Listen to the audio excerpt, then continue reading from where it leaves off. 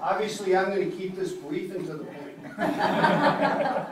but there are two things that I think that ought to be said that have everything to do with both this baptism of these two young ladies, but also about the, the feast that we're commemorating. It's called the Feast of the Presentation. And as Father Jim read in the Gospel reading, that's when Mary and Joseph came to present Jesus into the temple. That's what the law asked, and it was an act of dedication. In other words, what they were doing is literally taking the child before the high priest and, say, and saying, We want what God wants for this child. Let this child be under God's direction. Let this child be dedicated to the Lord. And in many ways, what we're doing here is a precise parallel to what they did, in the sense that Dakota and Victoria are being presented not just to me, they're actually being presented to the Lord. For they, as families, to say, Lord, we want you to do what you want to do in the lives of these two.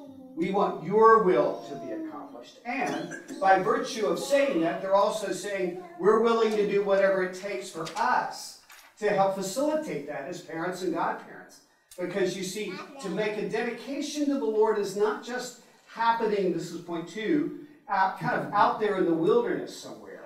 It's in the assembly of God's people. And notice what happened. When Mary and Joseph bring Jesus into the temple, guess what happens? God speaks to Simeon, an older man who was there, who comes over and literally speaks words from God about who Jesus is and about the direction of his life, and even gives a warning to his mother Mary a sword will pierce your own soul too, prophetically speaking about what would happen when she saw her son crucified.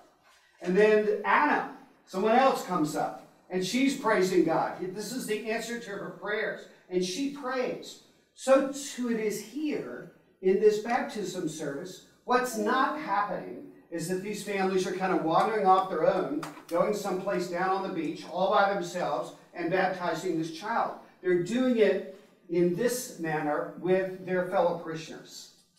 Because we believe with all of our heart that it is here among the gathered people of God that God moves and acts. In other words, the model is not we're just showing up and kind of getting our own little time alone with God and leaving, but we're actually interacting with each other.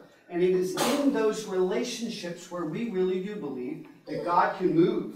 So we're saying, when I ask you, will you do all in your power to uphold these two persons in their lives in Christ? And you say, we will. That's a commitment to be a part of a kind of interactive fellowship where they, you are going to be involved. You're praying for these two young ladies and their families. They're praying for others because that's the center of how God acts. When the church is healthy, there's exactly these kinds of interactive relationships where people care for, pray for, help out, and support people who are, are a part of this fellowship. So, presentation, two parallels. One, these girls are being presented to God first and foremost. For God to do what God will do in their lives. Secondly, these families, godparents, you as a congregation are saying, this is where this is happening. Therefore, we're here to say, as the liturgy says, we will. We will be a part of this too. We're not just going to look and say, oh, I'm sorry they're having a hard time. The question becomes, if that is the case, Lord, what would you have me do? That's the commitment that we make, you see, to each other as interactive parts of this body. Who knows? Maybe at some point God might raise up somebody to be a kind of Simeon who prays prophetically in a way that actually has an impact on one of these girls' lives or somebody else, or an Anna who's been praying all along, and this she see, is able to see the answer to her prayers. That's what this is. So we're not just commemorating what happened to Jesus 2,000 years ago.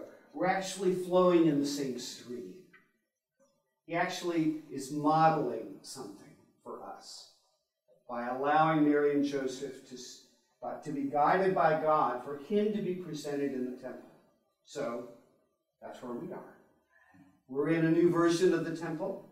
We're enacting a similar kind of dedication, and we're asking God to move And we're saying, we will too.